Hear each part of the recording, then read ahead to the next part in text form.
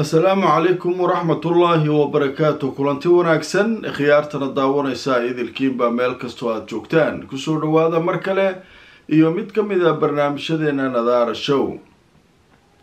Maanta waa khamiis taariikhduna waa labaatanka bisha luulyo sanadka laba kun iyo saddex iyo labaatan.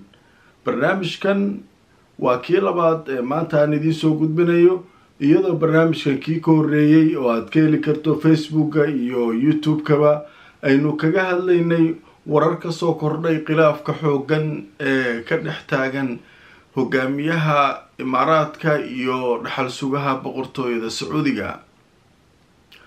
Haddaba qeybtan waxaynu ku faahfaahin doonaa laba qodob. Booqashadii erdogan uu ku tegay khaliijka oo la soo gabagabeeyey iyo waxyaabihii cajiibka ahaa ee warbaahintu ay ka diiwaan gelisay booqashadaas qeybta kalena waxaan idinkugu hayaa cudur halisa oo la sheegayo deegaano ka tirsan waddanka masar in uu ka dilaacay iyadoo dowladdu iminka ay wado dadaal ay kula tacaalayso dadka uu soo riday cudurkaas. Haddaba cudurkan waa cudur noocee ah? Masar dhan oo la sheegayo in baqdin ay soo food saartay dadka markii warbaahintu ay ka maqleen cudurkaas.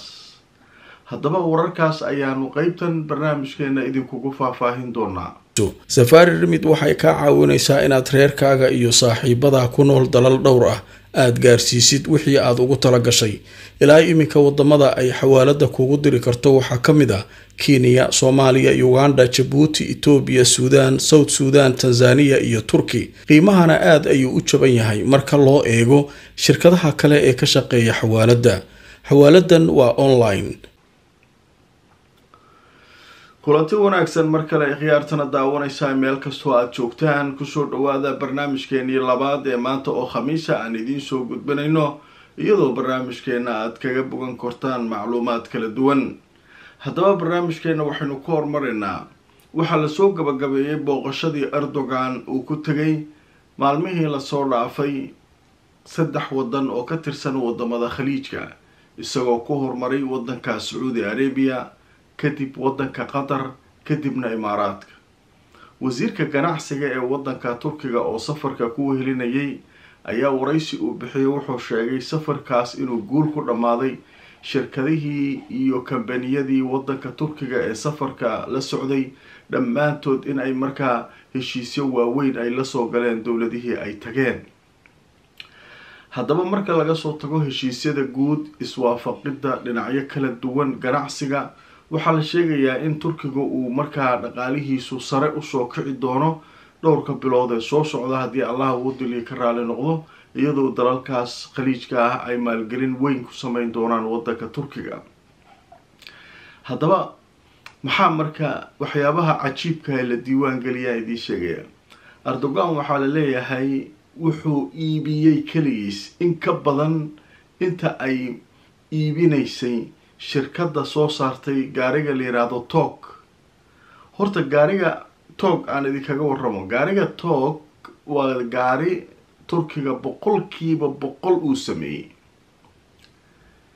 Waa gaarigii ugu horreeyey ee turkigu boqolkiiba boqol isagu sameeyo wuxuuna ku shaqeeyaa koronto ku shaqeeyaa. Wuxuu la tartamaa gawaarida waaweyn ee jarmalka iyo waxa kan ay sameeyaan waa gaari runtii aada cajiib u ah sida la leeyahay. Ma qiimo yara ogaada gaarigan uu erdogan suuq geynayo qiimihiisa waxaa lagu sheegay konton kun oo dollar xabadkii inuu ku fadhiyo. Marka erdogan wuxuu sameeyey markii uu sacuudiga tegay gaariga wuxuu u geeyey dhaxal sugaha maxamed bin salmaan. Gaarigiiu la fuulay labadooda way wada raaceen. Waa laga soo degay hadiyadu ugu geeyay markiiba sacuudiyaanka dee waddamada khaliijka sidoodaba baabuurta waa laga jeceliyay erdogan markaa aada u akhriyay nimankan baabuurta way isku badbedelaan gurigiiba waxaa laga yaabaa dhowr iyo toban gaari inay iska taalo. Way ku faanaan baabuurta carabta. Marka ninkan markuu u geeyay sacuudiyaan badan ayaa baabuurtii dalbaday oo ma garanaysaa iyaguna shirkadii ka dalbaday maadaama gaariga uu kaxeeyey maxamed bin salmaan. Dadkana uu u sheegay uu yidhi waa gaari wanaagsan ee hala iibsado. Isla markii markii booqashadii sacuudiga uu soo dhameeyey haddana wuxuu tegay qatar. Isla sidiiuu sameeyey gaarigii ayuu haddana hadiyad wuxuu u siiyey wiilka dhalinyarada amiirka ka ah waddanka qatar tamiim bin xamed gaarigii baa la siiyey tamiim isaguna sidii oo kale u kaxeeyey. Nin walba ninka kale ayuu iska bareejeynayaa ogaada. Nin walba ninka kale wuxuu sameeyo kaleu sameynayaa bin salmaan soo ma kaxaynin. Haa soo erdogan kuma kaxaynin. Haa anna waan ku kaxaynayaa. Isagana wuu kaxeeyay gaarigii labadoodii erdogan isaga way isla raaceen waa la soo wareegay. Kadibna wuxuu sheegay in gaarigan uu aada u wanaagsan yahay dadka qatariyiintana looga baahan yahay inay gaarigan iibsadaan halka ay ka iibsan lahaayeen gawaarida kale ee shirkadaha kale. Marka kan aada buu muhiim u yahay shidaalna ma aha bay-ada iyo maaragtay caafimaadka bani aadamkana wuu u fiican yahay. Qiiq ma sii deynayo koronto ku shaqeynaa marka gaarigan waa in la iibsadaa u dhahay. Iyadana wixii qatariyiin ah siday tahay waa gaarigii loo dalbaday labada meel marka waa soo dhamaatay. Kii qatar marka wuxuu ku daray isaguna wuxuu siiyey hadiyad cajiib ah. Banoonigii ugu dambeeyey koobka adduunka ee lagu ciyaaray qatar oo messi oo koobka qaaday kabtan u ahaa kooxdiisana uu ku saxiixan yahay ayaa hadiyad waxaa loo siiyey erdogana loo siiyey waxaa leni markii hore banooniga waa ciyaari jirtay oo nin laacag oo fiicana ahayd marka hadda hadiyadanna qaado. Marka erdoganna hadiyadaasaa la soo siiyey halkaa marka heshiisyo waaweyn baa ka dhacay iyadana horeyba saaxiib bay u ahaayeen qatar iyo turkiga haddana heshiisyo kaloo waaweyn baa la galay. Wuu ka soo dhoofay marka. Wuxuu imaaday imaaraadka.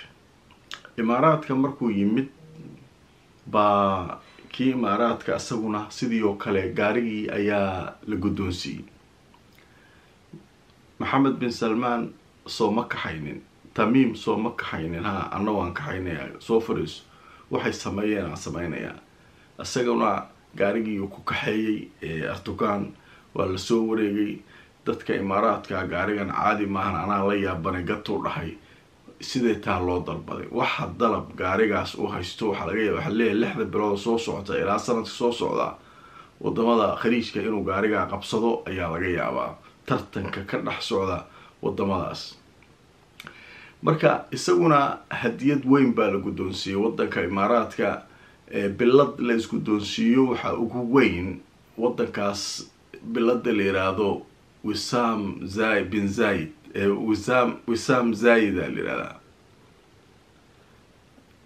sheekh zaid biladiisa la yihahdaa bilada ugu weyn ugu weyn ee la isku doonsiiyo marka biladii ayuu isagana uu guddoonsiiyey halkaasaa marka la isku marxabeeyey imaaraadka iyo turkiguna waxay kala saxdeen heshiisyo aada u waaweyn. Sidoo kale imaaraadka wuxuu dalbaday diyaarado xoog badan oo kuwa beriqadaarka ah. Marka kii sacuudigana diyaaraduu dalbaday kana diyaaraduu dalbaday waana isu dhaarteen xaalkaas marka allow sahal umuuraha ayuu marayaa. Marka qof walba wuu dareemi karaa xaaladdu meesha ay ku socoto marka ilaahay khayr ha ka dhigo. Marka sidaasaa ku soo gabagabeeyey booqashadii aadka cajiibka u ahayd aan leeyahay boqolkiiba boqol intii uu filayay in ka badan ayuu ayuu maaragtay ka helay booqashadaas. Erdogan ayaan leeyahay ififaalaha dhaqaalaha turkigana xoog ayuu yeelan doonaa dhowrka bilood. Soo socto inkastoo caqabado xoog leh dhaqaalaha uu kala kulmayay muddadii ugu dambeysay waddamada reer galbeedka qeybtaa marka intaa ayaynu kaga gudbeynaa qeybta kale ee muhiimka ee barnaamijkan ku soo qaadanaya waxay tahay cudur halisa ayaa waxaa la sheegayaa inuu ka dilaacay deegaan ka tirsan wadanka masar. Iyadoo dad dhowr boqola cudurkan uu markiiba ku dhacay. Haddaba cudurkan waa cudur noocee ah? Cudurka ay warbaahinta ka hadlayaan muxuu yahay? Haddaba telefishinka al carabiya ayaa ayaan ku arkay sheekadan aadka cajiibka u ah marka haddaba aan waxa uu sheegayo telefishinku idiin akriyo waa tahay. Telefishinka al carabiya wuxuu leeyahay laba boqol oo qof waxaa ku dhacay cudur qariib ah. Marka cudurkanna wuxuu saameyn ku yeeshay dadka ku nool tuulada tuulo ku taala waddanka masar.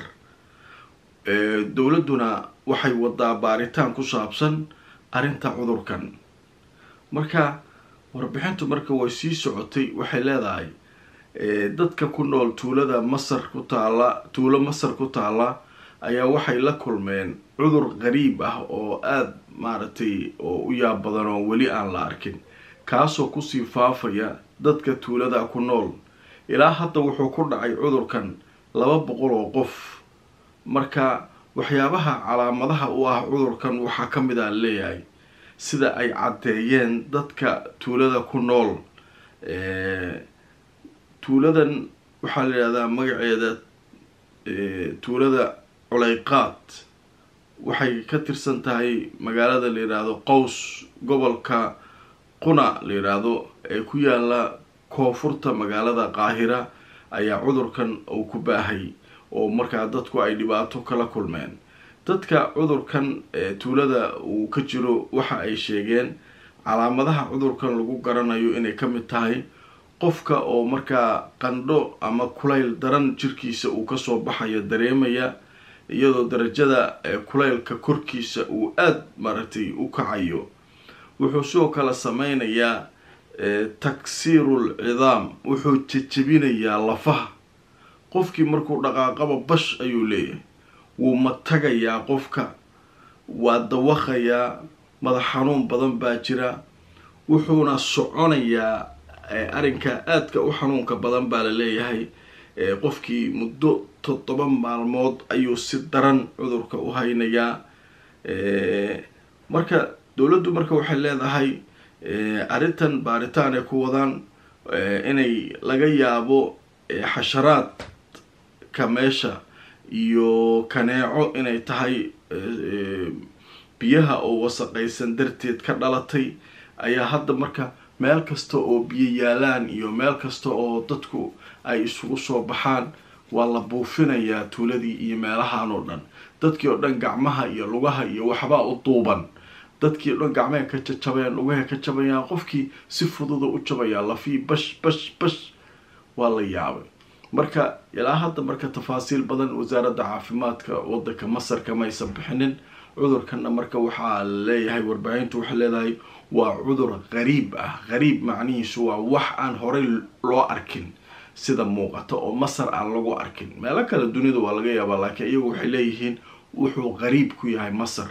Dadka masaarida marka aada bay u baqayaan gaar ahaan weliba dadka waaweyn ee maaragtay da-da ah marka waxay leeyihiin cudur qofka si fudud uu u jebi karo waay taksiirul cidaam uu sameynaya layidhi wuxuu jebinayaa lafaha. Marka waa khatara leeyahay cudur noocana weli masar laguma arkin. Marka waxay u malaynaysaa dowladda inay ka dhasheen cayayaanka biyo wasaqaysan oo meesha biyaha wasaqda iyo ka dhashay. Marka biyihii oo dhan baa la buufinayaa deegaankii oo dhan baa la buufinayaa. Marka xaaladabaa iyaduna masar ka jirta wixii warara ku soo kordhana barnaamijyadeena kale ayaan idinkula socodsiin doonaa. Barnaamijkeeni labaad waa naga intaa daawadayaal waxaa jiray barnaamijkan ka horeeyey oo aan kaga hadlayay warar ka cusub dagaalka dhinaca siyaasadda ee ka dhex qarxay. Ben zayid iyo ben salmaan halka uu marayo waxaad ka heli kartaa youtube-keena iyo facebookkeena labadaba. Intaadan ka bixin barnaamijyada fadlan like ha iloobin iyo share haddaad nagu cusub tahay. Subscribe saar youtube-ka. Haddaad ku cusub tahay facebookkeenana falow garay. Inta aan mar kale barnaamijyadeena kulmi doona haddii alleed waxaan idinkaga tegayaa sidaa iyo nabadgelyo